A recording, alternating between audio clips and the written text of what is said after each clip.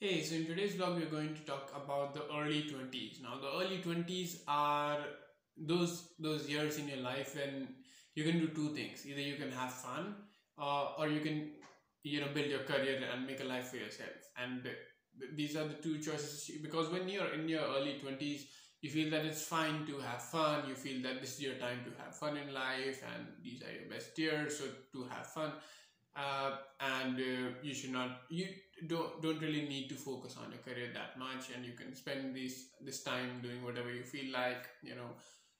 Uh, moving around places making new friends doing all sorts of things. Uh, and that, that that's a part of it is true uh, but not the whole of it you know because your early 20s are also the best years for you to make your career.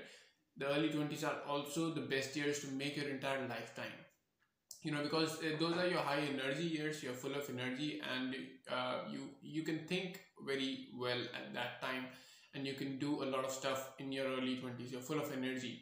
And if you don't think about life at that time and if you don't start building your career at that time then you will move into your 30s without having done much and then you will just do the play the catching up game uh, with life. You will just be catching up with life after that if you don't do anything till 30 uh, I mean that's uh, not a rule that you know stays true for everyone, but that's true for most of the people.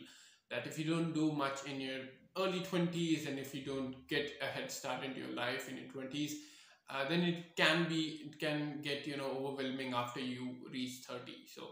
Uh, from your 30 to 20 to 30 are the years when you should really be thinking about life and uh, you know making progress in life and making a career for yourself uh, and doing those kinds of things as well. Yeah, having fun along the way for sure. I'm not saying this is the only thing that, that you should be doing, but uh, what a lot of people do is the only thing they do is have fun in this period because maybe someone is serving for them, someone is helping them, supporting them in some way. Uh, but that is not sustainable because no one is going to support you for a lifetime and you will need to fend for yourself uh, after a point of time. So it's always good if you start taking care of, uh, of yourself from your early 20s start taking respons- responsibilities on yourself. At least take responsibility of your own self if not for others.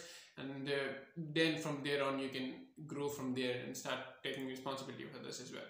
So early 20s are not just the years for having fun. These are also the years when you have to uh, focus on your career and build something out that can you can sustain or grow into uh, for a lifetime. So don't waste your early 20s just having fun because later you're going to regret it. Just keep a good balance between having fun and also building a nice career so that you can lead yourself into a successful life and not a stressful life and, and not a life that you live catching up.